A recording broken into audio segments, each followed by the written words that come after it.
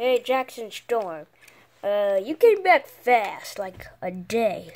And I had to come back for four months, so can you tell me how you came back so fast? Yes, I can tell you how I came back so fast. What I do is I stay in shape all the time. So I'm always working out, staying strong, staying healthy, eating right. And then that way, when I have an injury, I recover very quickly. That's how I came back so fast. Sounds good, champ. Thank you. Hey, Rusty, can you give me another 20,000 gallons of beer?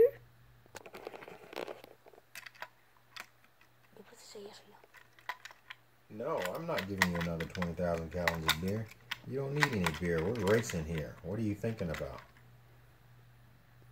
To break my record of DUIs, folk. First of all, if you're breaking records of DUIs, I'm not going to be on the track with you because I'm, uh, don't, I don't want to crash with you. And I'm sure a lot of these other people don't either. I think that's irresponsible and I think you should think twice about what you're doing and what you're saying here. You know what, folk? If you won't let me drink my beer, please, you know what? I quit.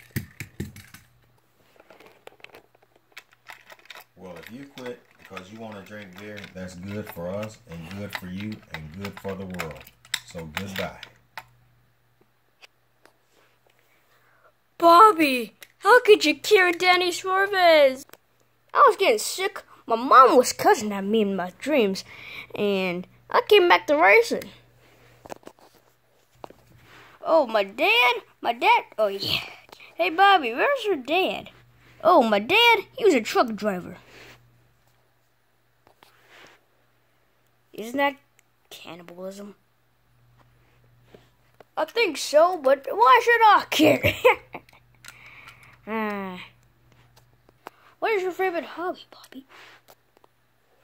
My favorite mm, but hobby is burning pictures of my mom in my house. Dude, why does this guy have such a huge mental disorder? Man, I need some cotton balls. Someone please, I beg you, give me a drink. Oh no, oh no. Ah! uh, I'm back, everybody. Uh, uh, I'm back. Please don't copyright us. I am Cruz Ramirez, and the only thing I contribute to is Yellow, Dinoco, and the best character in this entire show.